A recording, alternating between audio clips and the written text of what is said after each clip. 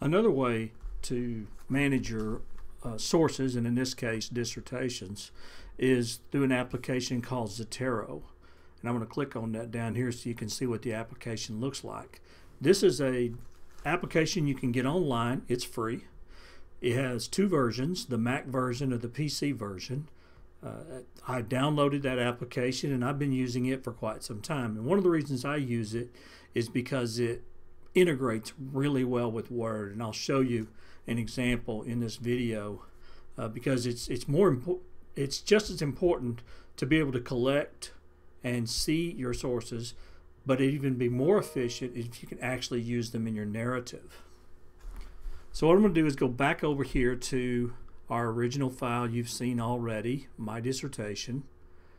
And I'm going to go to save. And you'll notice we have all those options that we had before in RefWorks, but this time I'm going to use RIS. And I happen to already know that this is a format that Zotero can import in order to get this information into it. So I'm going to click on that, and you'll notice it's going to download and you'll see that right over here actually I've already done it once so it's over here a second time so it's been downloaded so my next step is I need to get it into Zotero. So I'm going to bring Zotero up and I'm going to go file and I'm going to go import and I'm going to look for that file. And it's in my finder folder I'm going to click on that and click open.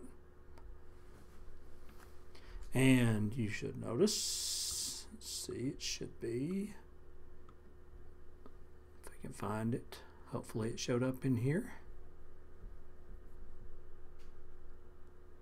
Oh, here we go. In ProQuest documents right here. Um, you can see it showed up right there. Now I could move that to another one if I want to. Let's say my uh, if I wanted to move it to um, this particular folder, the National Education Finance Conference State of the Schools. I could move that over to that just like that and it would go actually it would put a copy in there um, so there it is we have it right there now let's say I want to go ahead and you know not only that I want uh, I want the whole article there so I can go I'm going to attach a link to that um, or attach a link to a file because I happen to know that I have it already in my Google Drive. So I'm going to go dissertation, final approved. I already know that's the copy in there. And now not only do I have the information all about that particular one, but I also have the PDF so I can pull that up at the same time. All right, but let me show you something probably that, that makes Zotero even neater. And I think you can do it with RefWorks. I just know how to do it with, with the Zotero. So if I bring up a Word document, here's a good example you'll notice at the top of my Word document, and until you add the add-in, and you can go to uh, kind of a help section and it'll tell you how to do that, you'll notice I've got Zotero that's is actually in my menu bar for Microsoft Word. So I've started a piece of text here, a narrative. The 65% rule is signed into law, created an arbitrary standard for budget allocation. So let's assume that I needed a, a citation in order to substantiate that claim. So what I can do now, since I've clicked on Zotero, I can go, okay, I want to add that. So I can go there and say, I want to add that one right there. Pull that over here. Hang on just a second. I'm going to select that and I'm going to click OK. And you'll notice that it automatically put in my last name and the year. Now, don't worry about the indent. That's just kind of a formatting thing. So now I have that citation in there. It's okay, well, um, what if, how do I know where that came from? Well, later on, let's say I go through the document and I've written, I put in my sources and different ones and say, you know what, I'm ready to create a bibliography. I can do that.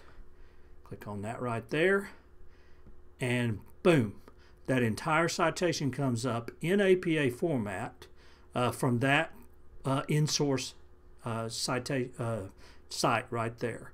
And actually the way this would work is you would do a page break uh, before this and then you insert your cursor and then it would do a running list. Another cool part about it is if you delete any of your sources and then you refresh your, your entire list, it will edit your bibliography to match your source list in order.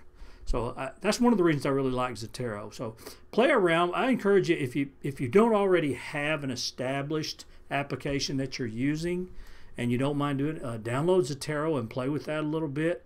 Uh, I do most of my publications with Zotero. It just it just works so much better with Word. Uh, I'm more confident in it. So um, this is how you would use uh, this application for managing and uh, uh, organizing and actually utilizing your your sources.